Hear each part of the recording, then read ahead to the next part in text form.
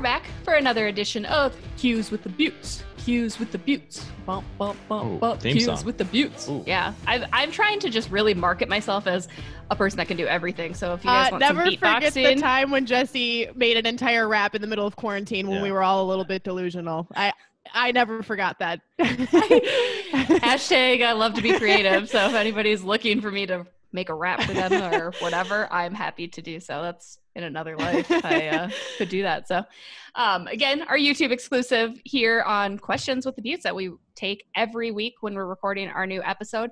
Uh, we want to give a special segment to our YouTube channel and, and answer these questions for you guys. So without further ado, producer Fred, what do we got for questions this week? Or cues, Uh, we do. actually have four questions, which is kind of nice. I like having four questions. I like questions. Um, first one from the Minnesota Hockey Journal. If you guys Great publication. great publication. If only one of us wrote for it. If you guys If were only. to play slash have played hockey, which position would you play and why? Who wants to go first? I got a good answer for this. I I'm a defenseman. I'm a defenseman. and, Like every even when I played like soccer and basketball, where you're kind of playing every position, defense. Like I have just a very defensive set mind. I don't really look to go score the goal. I stop the goal. They used to call me like the brick wall in lacrosse. Um, they pretty good, solid little defenseman. So that's all I got. I mean, nothing Humble too brag. crazy. Humble brag. Humble brag. I mean, I- David La Vaque said he wrote about me in the Star Tribune. That was that good. Yeah, no big deal, Fred. So let's not forget.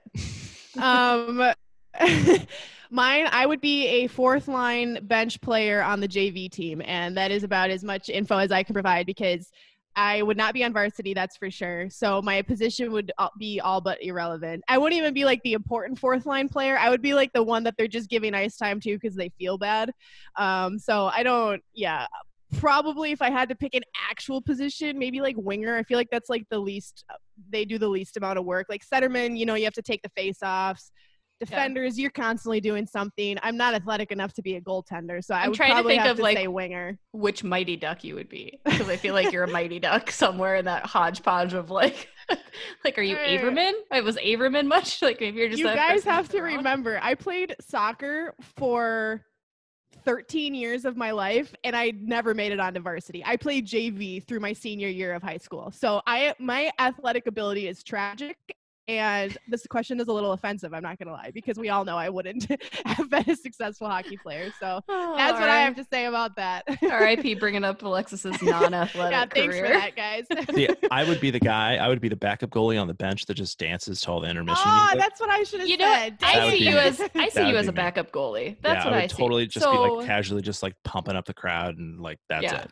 I'm I'm happy to carry this team if if that's what I'm doing. I feel like I'm carrying the athletic capability of this team. Um, Just I'm saying. proud to do when we did floor hockey with the Minnesota Wild during the summers, they put me in goalie once, and I gave up 27 goals. So I would that- definitely. like You should I'm just, try. I'm not- just, it's just, I'm not That even like a information sieve. I should just, I'm not just a be busted pipe, public. just a Yeah, busted pipe, letting it all out. Good old Swiss cheese Yeah. producer Yeah. Fred. Next question, Alicia Freeman. What are your thoughts on the newly announced NWHL 2021 season playoffs? Yeah, so we talked about this in the episode for this week a little bit as well. I'm just going to read a quick um, snippet of the press release for people who don't know like what that uh, the playoffs are going to look like yet. Um, so the teams are arriving arriving in late January. They're going to play five games, so one against each of the teams in the league, followed by a playoff round that will determine the four teams advancing to the Isobel Cup semifinals. The single game semifinals will feature the top seeded team against the fourth place team, with the team ranked second and third facing each other. The winners of the semifinals will advance to the Isobel Cup final on Friday, February 5th. So it is, you know, kind of like a little bracket system for the playoffs. I do like that they're doing um you know, not everyone is going to make the playoffs. I like that because it gives you something to play for, um, which previously, it, you know, it wasn't like that with the NWHL. Everyone kind of had a shot. You just get thrown into this bracket and you you play until you get to the Cup final. So I like that there's some incentive um, behind that. That not everyone's going to make it. Um, obviously, they got to make it quick because it's a con- season, so they don't want to drag it out too long, which is unfortunate because everyone knows playoff hockey is the best hockey. So that stinks Yeah. that we don't get that many playoff games. Uh, really, it's only going to be three. Um, but I like it. It is what it is. You know, we have to understand that there is going to be changes made to get the season off without a hitch.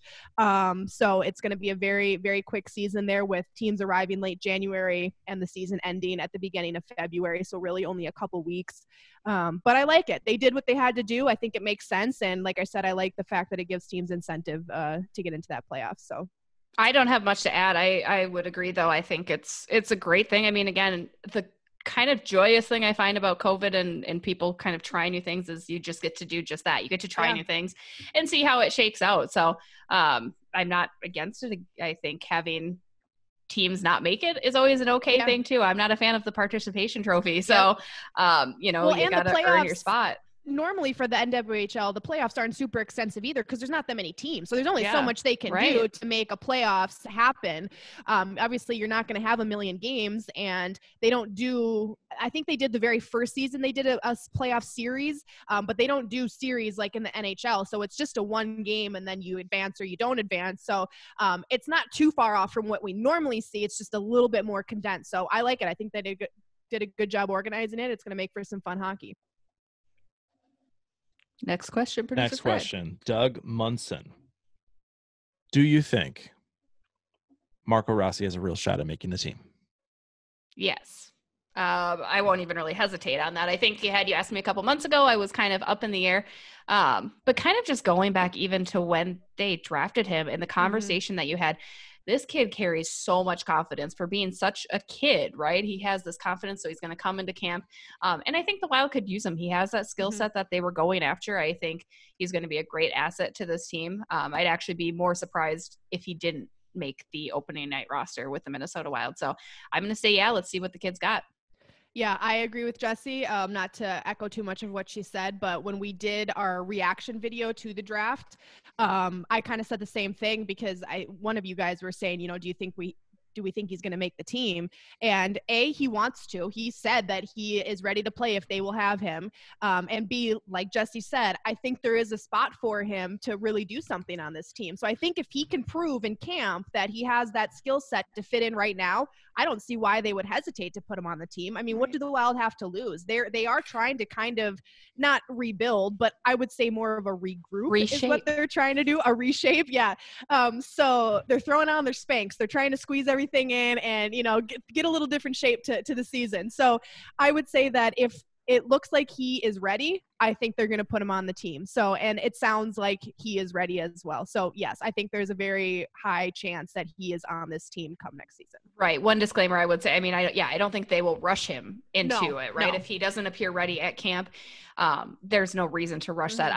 I I think it's just deciding where's he going to get a better development, right? Is he going to develop down in Iowa? Where do you send him then? If you're not going to put him up on the roster with the big guys, what do you do with him? Um, so I think you just make that call at camp. But I, from everything that I've heard and kind of the little bit that I've seen of him from different reels, um, he looks like he really could help the team, which is which is all that they're looking for. We need it. point. Yeah, exactly. So let's go. Good luck, Rossi. Next question. This is from State of Hoppy. What's up, State of Twitter. Hoppy? What up, State of Hoppy? Favorite hockey player with zero ties to Minnesota or the Minnesota Wild? This is so hard for me because I only like Minnesota players. this is so Uh, easy for me. Is it current or like all time? It doesn't say anything. I mean, I know your answer, Alexis. It's I pretty know your obvious. Answer too. Mr. I Stash. would go. Yeah. Go ahead. Go ahead. Just say it. Just say his Say name. it. Yep. Hashtag stand the stash. Stand the stash. In this house, we stand the stash. Auston Matthews. We stand forever. I love him. I think he's fantastic. Comes in the league, scores four goals in his first game. Like, please, who else is there? Try to top that, Jessi. Go ahead. I dare you. Ryan Getzlaf. Oh, my- no, I- you are joking. I know you are trolling. You are so I, trolling. I like You- Ryan Getzlaf. You I'm are just honestly, I'm trying to think. I'm trying to think of. So I'm going not necessarily skill. I just he's so funny. Every time I've ever interviewed him, he just makes me laugh, and he's just the coolest dude. So I just let's. Again, I'm really struggling to think of a non-Minnesotan. Like I literally just ran through like 56 players, and they were all Minnesotans. So I was like, mm, I don't have That is hard. Non-Minnesota is hard. Yeah. Yeah, I just mean, because the NHL, I mean, the NHL is so filled with Minnesotans or some Right. kind of tie to Minnesota where it's like, I, yeah, I will say when I was growing up, so I always have had a soft spot for goalies. Yeah. And I don't think he's Minnesotan. Ryan Miller, he's not. He was not No, Minnesotan. He's was he? American. I loved him. I don't know why. I had like a super super He's soft spot cool. for him, but I really liked him. I also thought he was like kind of cute a little bit. So I was like, oh, he's cute. He's a goalie. Love him. So when I was growing up, I for some reason I always liked him. But now it's it's Auston Matthews until the day we die. So Meh. Meh. What do you mean, eh? Miss Ryan Yeah. Getzlaf. Okay. So, what's up, Getz? I like That's- him. He's that a big just fan. that's almost as offensive as you thinking Martin Skoula is one of the better defenders in Minnesota Wild history. That's a close second.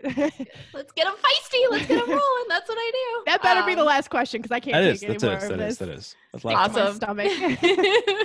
Thank you guys so much for all of your questions each and every week. We will be having this YouTube exclusive where we dive in, answer whatever questions you may have, whether they're hockey related, life related, career related. Um, we will try to get to those each and every week. So be sure you subscribe.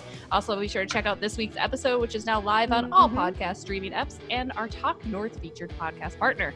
Um, that'll do it. Hope you guys have a great rest of the day. Stay a beaut.